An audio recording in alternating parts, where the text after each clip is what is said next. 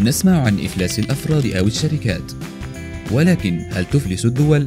عندما تفقد الدولة قدرتها على الوفاء بديونها أو تسديد الأموال لدفع أثمان ما تستورده من بضائع وسلع فإنها تكون قد أفلست. هناك عدة أسباب لإعلان الدول إفلاسها.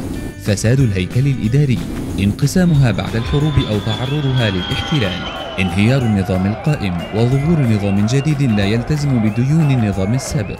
أحيانا يمثل إعلان الدولة إفلاسها فرصة جيدة لها للإفلات من قبضة الدائنين.